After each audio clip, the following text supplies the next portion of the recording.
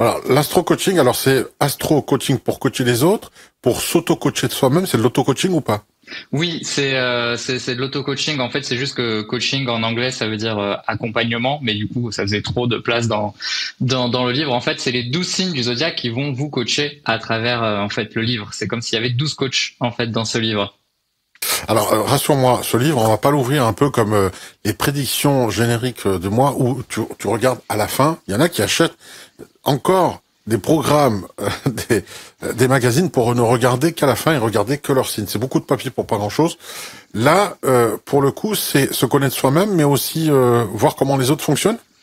Oui, exactement. C'est, alors c'est plutôt vraiment se, connaître soi-même dans le sens où là, les douze signes, c'est pas une idée de ah je suis tel signe, mon ascendant c'est ça, j'ai la lune dans, dans tel signe, etc.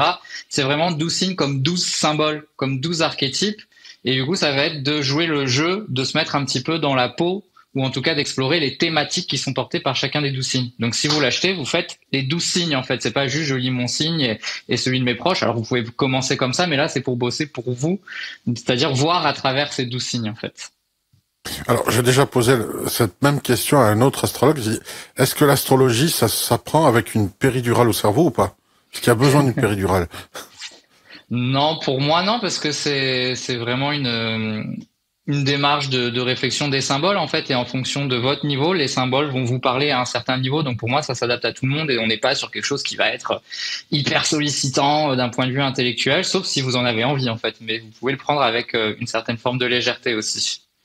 D'accord. Donc là qu'on soit bien d'accord euh, la personne qui ne connaît rien en astrologie mais a envie d'apprendre peut commencer avec ton livre ou il faut déjà avoir quelques notions, même légères Alors, il n'y a pas besoin de base, mais par contre, c'est important. C'est pas un livre qui va vous donner des explications, par exemple, sur comment interpréter un thème natal. Donc, si vous voulez savoir utiliser l'astrologie pour faire des prédictions, pour savoir déterminer la personnalité d'une personne, c'est pas mon ouvrage qu'il vous faut. Là, c'est vraiment, je veux faire un travail sur moi et je vais faire ce travail sur moi à travers une démarche proposée par l'astrologie en fait. Donc il n'y a pas besoin de base, mais c'est pas un livre qui va vous rendre. Euh, voilà, il y a des livres où c'est toutes les bases pour savoir faire un thème natal, etc. On n'est pas sur ce genre d'ouvrage là. Est-ce que cette compréhension va permettre à la personne de corriger ses biais? Oui, c'est euh, j'ai rédigé ce livre de, de manière en fait à, à, chaque début de chapitre, il y a, il y a une petite introduction qui explique en fait qu'un signe, on peut être aligné à son plein potentiel lumineux, mais qu'on peut sombrer soit dans un extrême de ce signe, soit au contraire complètement s'en déconnecter.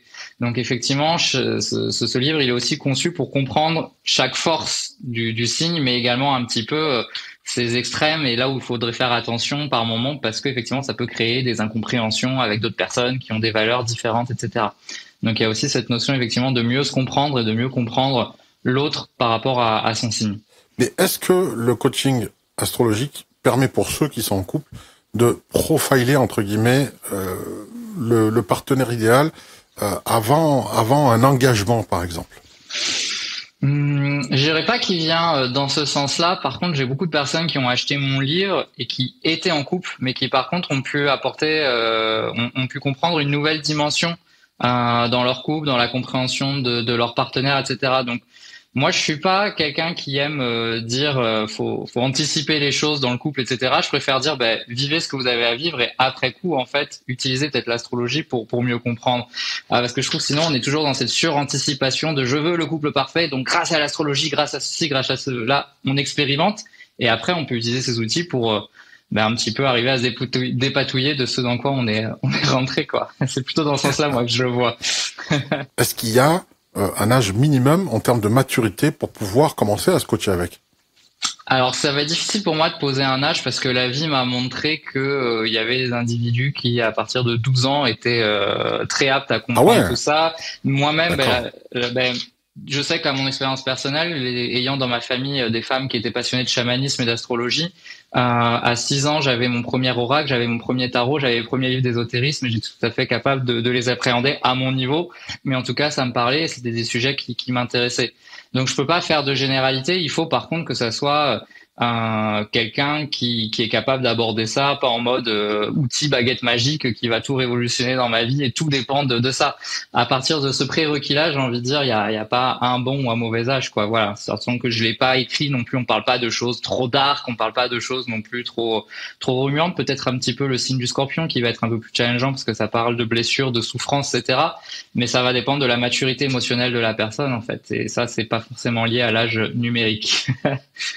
Alors là, on vient de parler de l'amour. Bon, c'est un des thèmes favoris. Il y a souvent l'amour, le travail et l'argent. Donc, on a fait l'amour. On va voir pour le travail. Est-ce qu'au niveau du travail, si on a un problème de positionnement au niveau de l'entreprise, le coaching peut euh, révéler euh, ce qui peut agacer euh, les personnes, ce qui peut faire peur aux autres. Hein. Voilà, on est peut-être mm. un peu trop directif. Et le coaching va te dire attention, il y a un truc là où ils vont dire lui il va prendre ma place, ça le fait pas. Hmm, alors, c'est pas dans ce sens-là que, je pense qu'il faut appréhender le livre, c'est qu'en en fait, chaque signe astrologique est porteur d'une thématique. Et par exemple, c'est plutôt moi, dans mon travail, j'ai besoin de travailler, par exemple, l'affirmation ou euh, me rendre visible, etc., être fier de moi. Mais par exemple, je vais conseiller aux personnes d'aller lire le chapitre sur le signe du bélier ou d'aller lire le chapitre sur le signe du lion. Parce qu'en fait, ces deux signes sont porteurs de cette thématique de s'affirmer. Et du coup, il y a des exercices en lien avec ces deux signes qui vont permettre, peu importe le signe astrologique de la personne, de euh, travailler ces thématiques. En tant qu'employé, euh, se dit bon, en fait, peut découvrir et révéler qu'elle a l'âme d'un d'un meneur et de ce fait de décider de se dire allez je vais monter mon entreprise. Apparemment si je suis pas bien c'est parce que je suis fait pour commander pas pour être commandé. Ça peut faire révéler ça du coup à, à cette personne. Elle va peut-être prendre conscience que ben, si je suis pas bien dans mon entreprise c'est peut-être parce que je me suis laissé marcher sur les pieds pendant un moment du coup, par exemple, le signe du lion va me permettre de m'affirmer, de rugir un petit peu et de recadrer les choses. Et donc, j'aurais peut-être même pas besoin de partir, j'aurais peut-être même pas besoin de, de fuir dans un nouveau projet.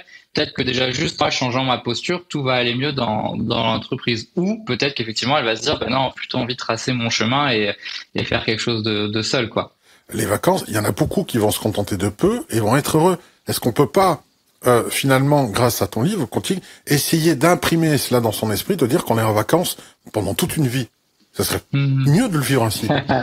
ah mais je te, je te rejoins complètement. Et là, ce que tu partages, ça me fait beaucoup penser au chapitre sur le signe du taureau, justement, où dans ce signe vient nous faire travailler un peu le côté carpe diem, c'est-à-dire ben, je profite de l'instant présent, profite de ce qui se présente à moi et c'est développer un autre rapport à l'abondance peut-être que celui que la société euh, capitaliste veut nous faire euh, croire, à savoir c'est possession plus plus plus plus plus. Euh, ce, ce signe-là fait travailler ça, mais il peut faire aussi travailler l'inverse, c'est-à-dire les personnes qui la vie leur offre beaucoup aussi sur le plan matériel et qui sont très mal avec ça et qui culpabilisent mais je mérite pas, j'ai pas le droit à ça, c'est mal, etc.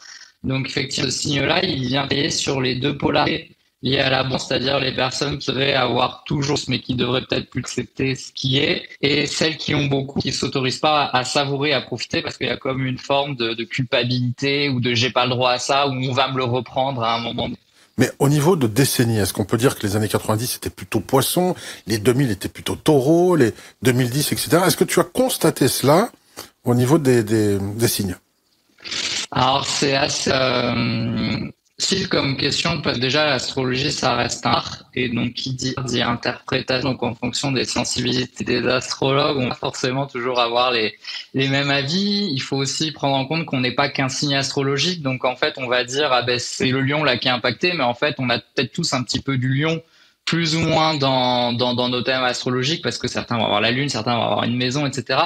Donc c'est euh, c'est un peu compliqué. Moi, je trouve que par contre, il y a des euh, des tendances collectives. En fait, c'est pas forcément lié à, à l'individu.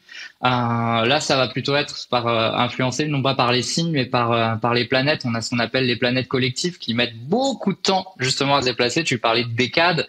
voilà, parfois ça peut être 10, 15, 20 ans qu'une planète va rester dans un signe astrologique. Et là, en ce moment même, euh, on a la planète Pluton euh, qui est euh, dans le signe du Capricorne depuis des années, une bonne dizaine d'années, qui est rentré dans le signe du Verseau, qui va refaire un petit coucou dans le signe du Capricorne là en septembre pendant un petit moment et pour 2025 qui va plus jamais de notre vivant, sauf si on commence à vivre 500 ans, mais va plus jamais revenir dans, dans le signe du, du Capricorne. Et Pluton, c'est la planète de la grande transformation. Et dans le Capricorne, qu'est-ce qu'elle disait? Elle disait allez voir dans vos fondations allez voir un peu dans la base de vos bâtiments, mais symboliques, c'est-à-dire tout ce qu'on essaie de construire, parce qu'il y a encore des choses à transformer, il y a encore des choses qui sont pas pures, il y a encore des choses qui sont pas claires, qui sont pas propres, qui sont pas congruentes.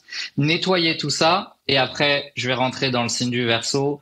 Pluton, la planète de la transformation, dans le verso, le signe de l'innovation, de la rébellion. Ça promet euh, des, des, des, grandes innovations, des grandes nouveautés en plus dans cette période du, du verso.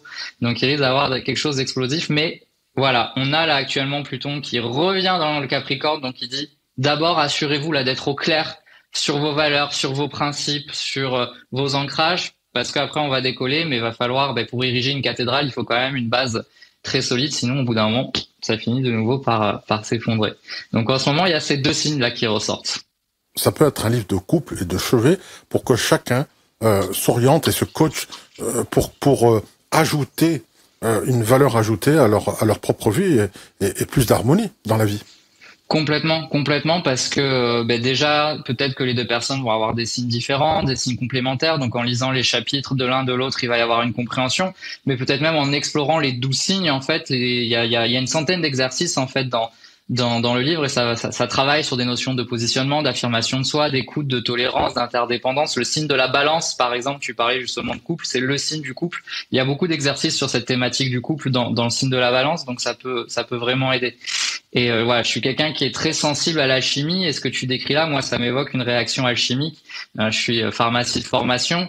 Le principe des réactions alchimiques ou chimiques, c'est parfois d'arriver à mélanger des choses qui théoriquement se mélangent pas ou doivent exploser, et pourtant on arrive à travers une troisième substance, à travers autre chose, à sublimer à, et à passer le, le processus. Donc euh, moi, ça c'est ma vérité, mais je pense que même si dans un couple il y a l'air d'avoir des, des oppositions, des tensions, etc., ça peut créer quelque chose d'harmonieux et de, et de cohérent. C'est le principe d'une œuvre d'art. Il y a toujours parfois des, des forces qui s'opposent complètement et pourtant l'artiste arrive à, à, trouver un lien entre tout ça et ça crée quelque chose de sublime. Ça passe au, au niveau supérieur justement. Et je pense que le couple c'est aussi ça. Et mon livre peut euh, aider à ça, mais au même titre que, que plein d'autres ressources, parce que ça, je pense que c'est le principe alchimique du, du, couple, aussi bien intérieur que, que à deux. Quoi. Euh, à titre individuel, pour des personnes qui veulent aller plus loin, peuvent te consulter via ton site euh, pour, pour avoir un complément du coaching, pour aller plus loin. Est-ce que c'est envisageable ça? Alors, ben, il y a deux questions en une. Donc oui, il y en a un autre qui est, bah, qui est fini d'écrire, qui, qui est fini, l'écriture est finie. Il va sortir là le 9, le 9, euh, le 9 octobre, si je dis pas de bêtises, dans la même maison d'édition, le Lotus et l'éléphant. Et euh, on est encore en train de travailler sur la couverture là, donc c'est pas tout à fait euh, fini. Et après, sinon, oui, on peut tout à fait euh, travailler euh, avec moi sur euh, sur ça. En fait, tout ce que j'ai écrit dans dans mon livre Astro Coaching, en fait, c'est des, des exercices que j'ai donnés à mes clients, à mes clientes en séance individuelle lorsqu'on qu travaille autour de leur signe astrologique. Donc, si vous me suivez sur les réseaux sociaux, c'est hugo.bienvenue.coaching sur Instagram. Et après, mon site internet, en toute simplicité, c'est www.hugobienvenue.com et il y a toutes les informations euh, dessus. Voilà. Ben voilà, c'est parfait. En tout cas, merci pour cet entretien, Hugo Bienvenue. Et puis voilà, je vous invite à vous procurer ce livre et euh, outil de connaissance de soi formidable qui est euh, l'astrologie. Et là, pour le coup, euh, ça vous permet d'évoluer, de changer, de modifier, de vous voir tel que vous êtes. Et alors quelquefois, euh, on va peut-être pas l'accepter, mais l'autre va vous dire si si, t'es vraiment comme ça. Et c'est bien, c'est bien, c'est parfait. Tout est juste. Merci à toi, Hugo. Merci Didier, avec grand plaisir. Au revoir. Au revoir.